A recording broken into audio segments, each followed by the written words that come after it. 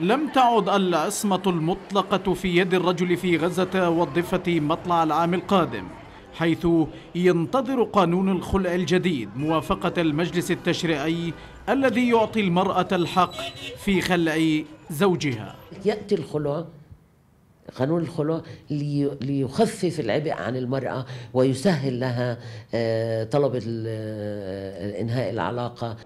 هذا القانون الجديد أعد مسودته هيئة القضاء الشرعي الفلسطيني بالتعاون مع مؤسسات المجتمع المدني. لكن هذا القانون وجد معارضين من أهل الشرع الديني الذين يؤكدون أن الخلع الجائز مشروط بموافقة الزوج وفق الشريعة الإسلامية. أنا أعتقد أن هناك إشكالات كبيرة جدا في هذا الأمر ولذلك لا يتم الخلع إلا بموافقة الزوج.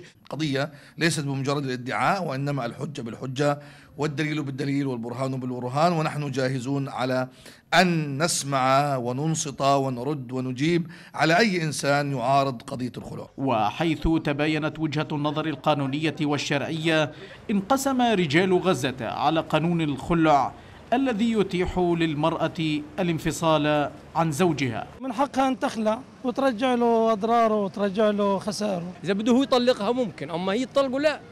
وقد نجحت انتفاضة المرأة في المطالبة بحقوقهن النسوية من خلال برامج مكثفة ومنها تلفزيونية للقفز على عرف غزة وعاداتها التي تكبح بعضا من حقوقهن كما يقولن نساء غزة ينتفضن لحقوقهن. نضال مارسته المرأة الفلسطينية ليغيرن واقعا يرونه حقا ويراه آخرون قفزا على العادات والتقاليد.